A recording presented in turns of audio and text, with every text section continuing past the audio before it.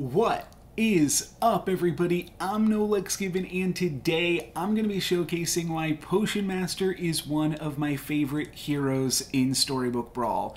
Potion Master just really allows you to play differently than almost any other hero because you get to see those two spells in the shop every turn. There's just a lot of wacky things that you can do, and we're going to be doing a lot of those wacky things this game. Um, obviously, it's good with Crystal Ball. We've explored that in the past. It's also pretty good at finding XP, which can be a lot of fun and one of the reasons that the Sphinx was kind of broken.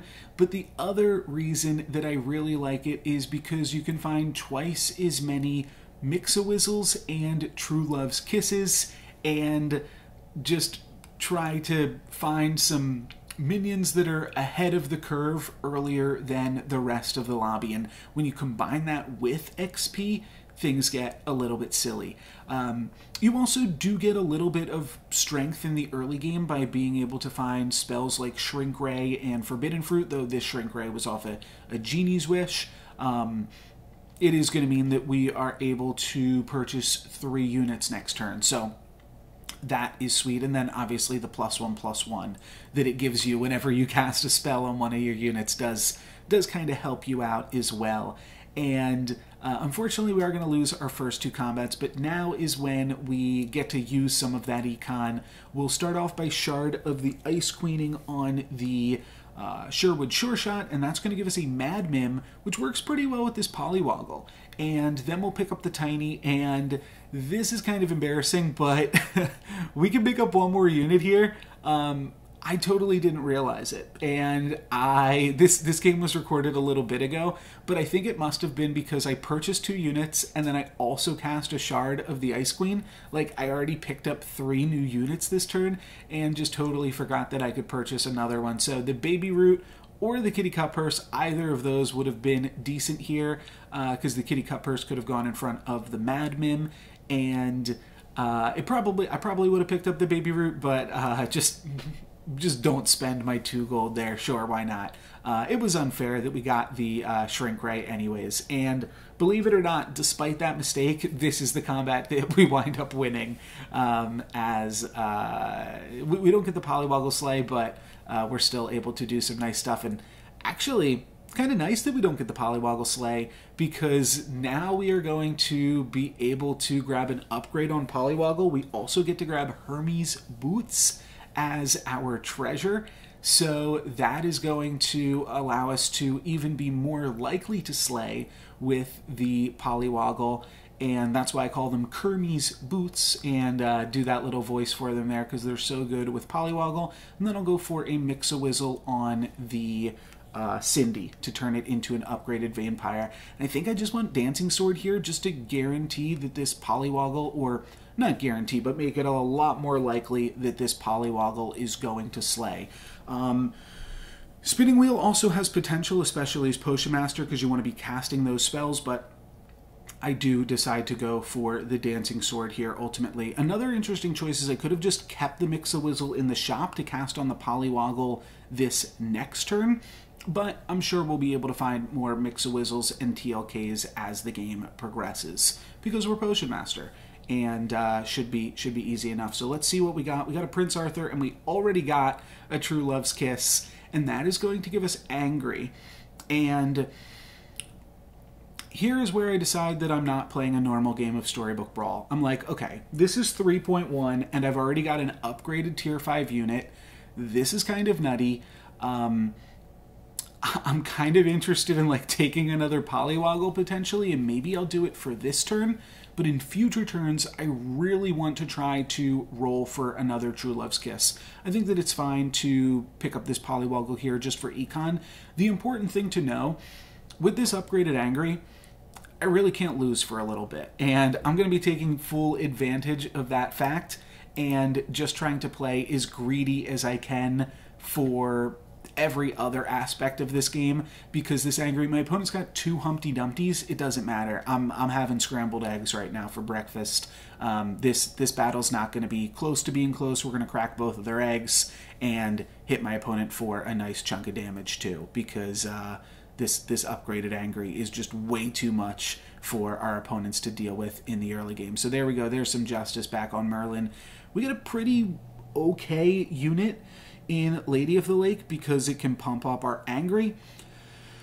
But I'm just going to try to find True Love's Kisses. That's that's really all that I'm doing here. Um, our treasures don't really point us in any particular direction. I'll go for a Mix-a-Wizzle on the Lady of the Lake, and now if we find a shard of the Ice Queen, we could shard the baby bear, and that would be respectable. Um, I'm not even going to buy the chicken because I just want to try to find True Love's Kiss, and I'm willing to uh, basically roll down for it because it would be so sweet if we find it. And um, we do wind up finding some more polywoggles here. And I think I will ultimately just settle on playing another polywoggle. Um, because nothing else is, is like that exciting to do. And then I think I should switch the polywoggle. Well, it's interesting. I could switch the polywoggle and the baby bear, but um, same thing as earlier. It is 3.2. So if polywoggle, we wait with it and we slay with it next turn, um, that's totally fine. And again, I feel confident that we're not going to be losing with this upgraded angry this early in the game. And that is going to hold true against this Loki. It's it's still way too powerful. Um, so it's our only thing that's going to survive, but it's enough to pad our life total even so. So now I really want to find a True Love's Kiss, and with an upgraded tier 6 unit, like upgraded Angry, sure, it's good, and we could have just been steamrolling all of our opponents, and we can see there's like some other good units here. There's a Tweedle and a Crafty, um, but I, I don't think it's like enough direction. Um, you do see I go for the mask ball again here just to continue playing like the weirdest game of storybook brawl that I can. I'm like, you know what, I'm going to play this mask ball and purchase another tier 5 unit. Um, and uh, this board just continues to get even sillier as this game progresses. But if this Polywoggle can slay, we'll get another tier 5 unit out of that. And I don't even know. I don't even know what we're going for. At some point, we're going to definitely have diminishing returns, way too much tier 5 units, but hopefully this angry is still enough for now to allow us to keep winning. And honestly, this lightning dragon is pretty good here too, and it does look like this angry, especially with the Lady of the Lake supporting it, will just be enough stats to get us to um, a, a, win here against uh, Sharon. So, yeah, again, looking for true love's kisses. It would, it would, it's just such amazing direction, and that is uh, the main goal here. Lady of the Lake, we can see like now is no longer even exciting because we could just buy a Lady of the Lake. So let's Mix-a-Wizzle that, see if we can make that into anything better. And Aeon is a pretty sweet one with Potion Master potentially to be able to find some cheaper spells next turn that could be pretty cool. Polywoggle, sure, I got to go for it again. We're, we're playing a silly game already. Let's pick up the Polywoggle. Now maybe next turn we could find another Polywoggle and um, get an upgraded tier 6 unit again. Why not? And let's grab an upgraded tier 6 unit right now as well by um, upgrading the Bearstein. And Bearstein, along with Wombats in Disguise, could be pretty good. It's also giving the Polywoggles plus 4 plus 4, uh, which is pretty silly and going to mean that uh, those polywoggles actually have like a chance to slay themselves now. I'm not, I don't need them to slay, but if they do, um, it could be cool. Oh, I moved them there? Oh, that's interesting. I guess we're on 4.1 not 4.2. So I do kind of want the polywoggles to slay. Okay, uh, misremembering that part a little bit. I, I do remember that they slayed. I didn't remember if I wanted them to slay or not. Um, but both of the polywoggles are going to wind up slaying against my opponent, and we get a bunch more tier 5 units um, to uh, try to do some work with here. And the Bearstein is not as strong as the Angry, but it is still going to be enough to allow us to win this combat. And I don't know what we're doing now. Um, we've got three tier 5 units and a tier 6 unit, and it's 4.2. if this isn't the weirdest game ever, um, it's certainly up there. Um, so I'm like potentially do want some things to, to play around with this Bearstein, though could also potentially take shard, um, could take princess peep and like some summons, those could go along with it. Could do another mask ball. There's two fives here, and we wind up running into a Nian Sea Terror as well as a pumpkin. This is the patch where Pumpkin was on 5, but it's not going to be uh, relevant to this game. It's kind of interesting with Bearstein, but I'm going to go ahead and take this Tier 5 treasure, and we'll see what we can do with that. Hand of Midas, way too early for that. Helm of the Ugly Gosling is probably the pickup, but I'm going to wind up going for Mimic Chest because um, why not? This is already a just a super silly game. Let's go for the Mimic Chest. And one thing that we can kind of do with the Mimic Chest and the boots is we can put the Wombats in slot 1 and the Bearstein in slot 2, and putting the Bearstein in front of the Lady of the Lake gives the um, Shoulder Fairies more stats but um, all of this is just very weird. We do get an animal out of the wombats in this in disguise, though, which is basically um, just insane and potentially enough to win this combat. Though Sporko with a bunch of black cats is certainly a little bit scary. Though my opponent doesn't really have a backline. It's just these six power ranged units, and I think we can bully our way through those. So that is going to be a win against the second place person in the lobby. Believe it or not, despite all this silliness, we are still in first place in this lobby. And hmm, I think I think it's time to press our advantage. I think we take Wish Upon a Star here and try to can do, just get to tier six. That that's what everything's been about this whole game, getting tier six units out quicker. And I think we do that by picking up Wish Upon a Star and then probably taking Lancelot. Uh, we could we could gain a lot from grabbing some good treasures to double with this mimic chest, considering we are currently doubling um, like a treasure that doesn't do anything and a treasure that gives one attack. So um, I mean, boots boots definitely does do something, but doubling it doesn't do much, and um, boots like 50-50 boots does nothing you know? So um, interesting to uh, even figure out if it does something or not. Shoulder fairies is a really interesting one. Um, i still don't feel like i know what the comp is that we're playing though obviously shoulder fairies does work well with lancelot. Here's where i'm at though. If we win this combat i'm going to regret buying shoulder fairies because then i could roll for sixes. However if we lose this combat then i would definitely like to have purchased the shoulder fairies but I'm betting on no Lucks Given here.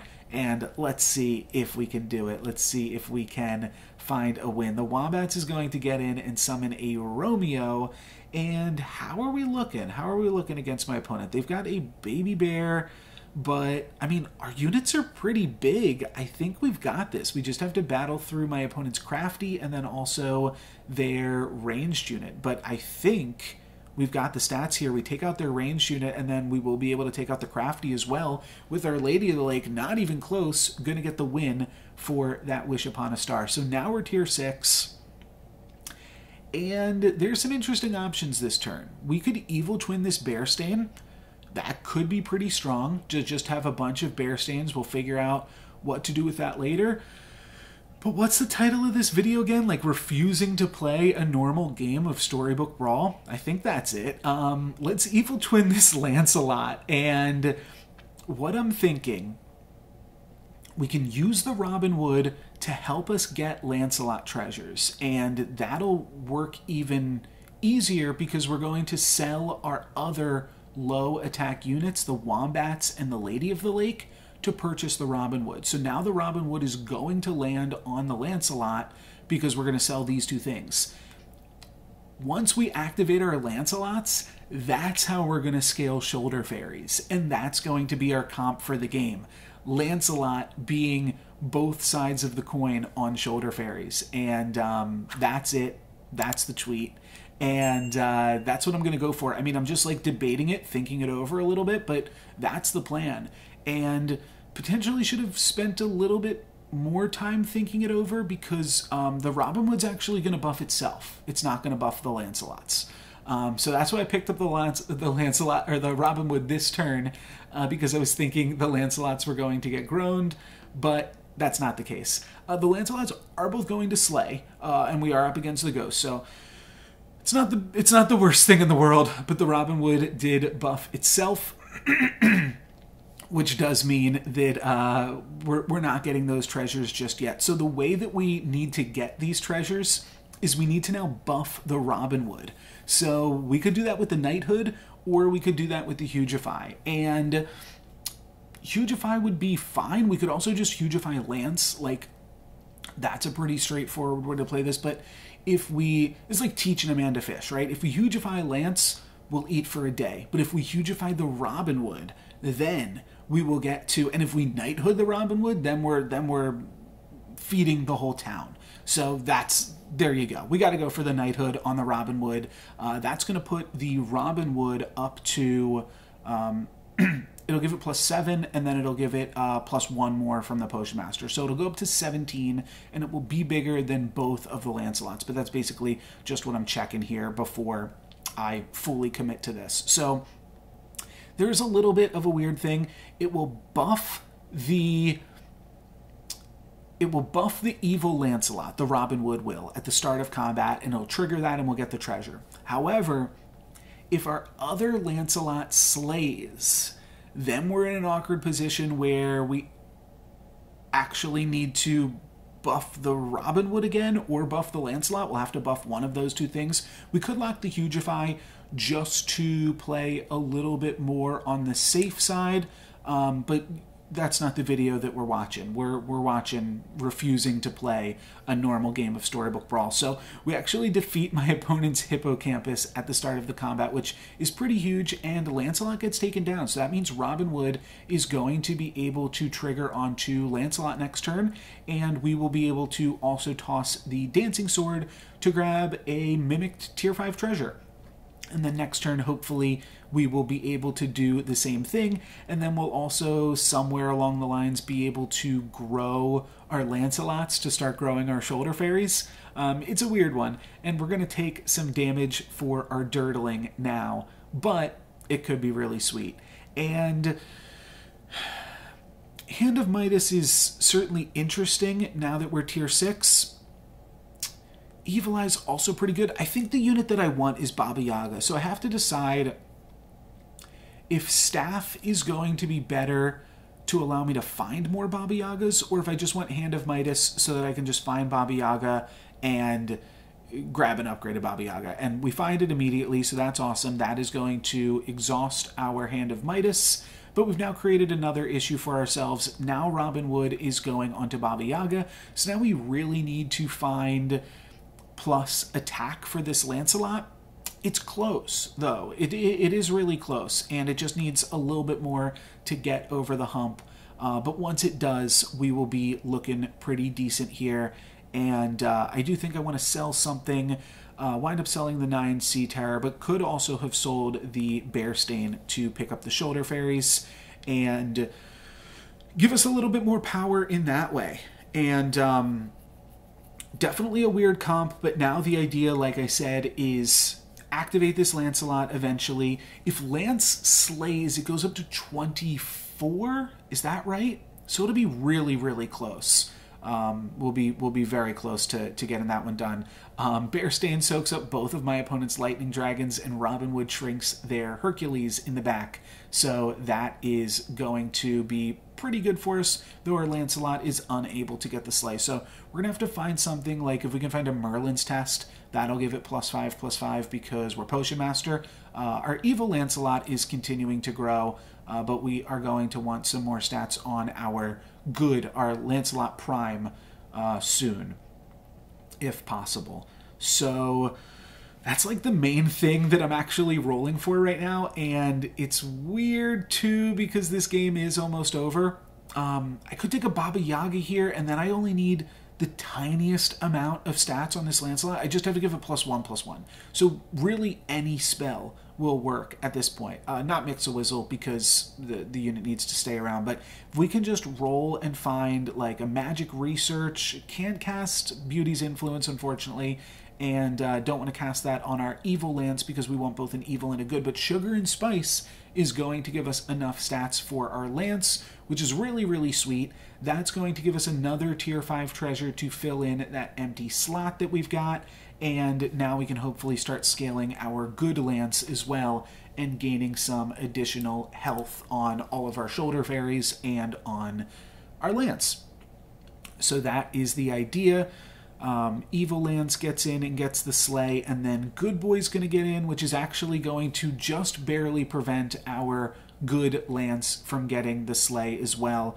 And this opponent has a lot of potential stats with the uh, Wombat, so I guess I'm happy enough here to just only take whatever this is. Um, 10, 13, yeah, 13, whatever. We, we can we can lose um, no more combats. Um, that's uh, that's it basically. And now I think I take the staff of the old toad. Um, it's really weird that we have this mimic chest this game that really isn't doing much of anything for us. It's just giving us double boots. Uh, in hindsight, the, the Helm of the Gosling could have done a lot more and would have even triggered our Lancelots earlier, potentially, too. Um, so yeah, that would have been that would have been uh, much better for us. But we'll pick up a pair of Grim Souls this turn. That is not too shabby, and then I'll go for a free roll, and I could sell three things to pick up Shoulder Fairies. So it's Baba Yaga, and then I don't think I want to sell these Grim Souls. I probably want to sell these Tier Six units that we spent so much time and gold to pick up. Uh, but now I can grab a tier 5 treasure and double it. So we could take Monkey's Paw, give everything plus 12, plus 12. That's going to help these lances to potentially slay and also grow the shoulder fairies a, a, pretty considerable amount. So I do think that it is worth to take these Monkey's Paws here and uh, try to grow our Lancelots in that way. And um, yeah, just kind of mixing around what order those Lancelot should be in, but otherwise nothing much is going to change. I really want to get more health onto our good Lancelot, so hopefully as many triggers as possible from these Grim Souls go on the good one. Unfortunately, they all go on the evil one, and our Lance also fails to slay against a Hippo comp. So pretty unfortunate that um, we're really just going to get stats on the evil lance, but uh, hopefully we don't lose this combat now. I think we'll be okay. Oh, and other lance gets to attack again, so that's nice. That's going to give uh, some more health to everybody for the next turn. And for that next turn, what are we looking for? Well, this game's almost over. So um, this could potentially be the finals right here, though Sharon hangs on with a little bit of health. Um, probably want to find a Drink Me potion. I'd love a Gigantify on this Lance. You see me pointing to that, but unfortunately we roll Hugify only. Um, I'd also probably cast like any type of combat spell or something like that, but not going to be so lucky this turn. Um, I do see that this Sharon was running a bunch of lightning dragons, so I'm kind of like toying around with something like this. They had Cupid plus double lightning dragons, so maybe I like backline my Grim Souls or something like that. And um, here, I think I am just going to probably cast a Pigomorph against this opponent and just be happy enough with that. Um, try to um, uh, just just scam them in some capacity because uh, this is the end game here. Could even consider locking the other Pigomorph, but I'm going to roll one more time and find a Grim Soul, and now I just want, want to replace this staff with any treasure that can impact combat, and unfortunately that's only Moonsong Horn. Uh, it'll give my whole team plus two plus two, but it's probably worth it just to get a few more stats, just to make sure that I don't die on this final turn.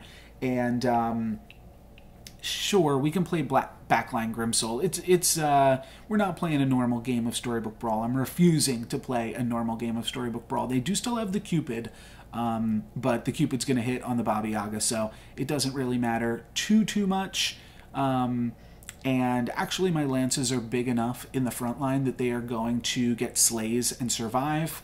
And then my Grim Soul is going to attack in. So it didn't really wind up mattering too much, anyways. And I think we've got enough stats here to, to battle through this pumpkin. I mean, we pigoed something. I think we probably pigoed another uh, pumpkin or something like that. Uh, and that's going to mean that we've got a bunch of stats. And unfortunately, because of my ordering, uh, Lance the good one isn't going to get a second slay. Uh, so could have benefited me to have those in the other order just to get a little bit more HP. But now we're in the finals, so not too shabby. Um, what are we looking for for this last turn? Well, I probably want. I mean, that's that could just be good enough of a spell. Like it gives Lance plus five, plus five, which gives the shoulder fairies plus ten, plus ten. It's probably good enough. And then um, I am considering this Princess Peep. There's also the Wombats in Disguise that uh, you know we got rid of earlier. There is also Pumpkin, um, but I think we don't have enough evil things. I think I just want to find like okay, a Medusa could be good. Um, Medusa or Cupid are probably like the main things that we're looking for, and I think this Medusa is going to wind up being actually pretty solid. Um, again, we could take like the pumpkin now. Uh, potentially, that was the play: sell the Grim Soul and throw another pumpkin in the back line. Uh, I don't think that that would have been horrible. Um, but I'm just going to roll and I'll lock a shoulder fairies. That's a bunch of stats for the next turn if we somehow manage to tie our opponent. Though I think that's impossible with this specific backline. Um, they get a Pigomorph against us and they're Good Boy plus Bearstein plus Echo Wood, and honestly, they don't have that many stats, but the Wombats being good and then summoning an animal definitely puts it over the top. And I think they were going to win regardless, but definitely not going to win after that fact. And there was still even a chance, had they attacked into the Baba Yaga there, then the Medusa could have scammed the Echo Wood, but that's going to be it. Second place, and honestly, second place isn't that bad for a game where you can have this much fun and do this many silly things and refuse to play normal storybook brawl and still have such a good result. So there you go. Hope you had fun with this one. Hopefully, it inspires you to also do some silly plays with Potion Master and in Storybook Brawl in general. But that's going to be it for me for this one. Thank you guys very much for watching. I'm No Given. Peace.